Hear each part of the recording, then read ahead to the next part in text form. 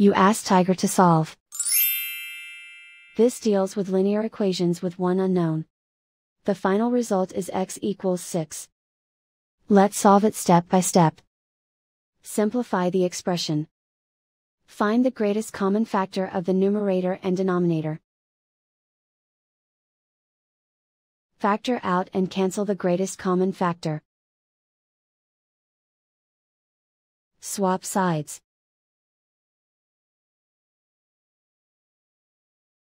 Isolate the x. Multiply both sides by 10.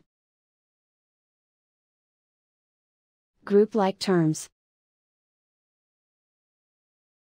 Multiply the coefficients.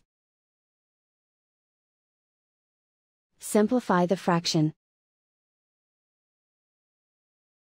Multiply the fractions. Simplify the arithmetic.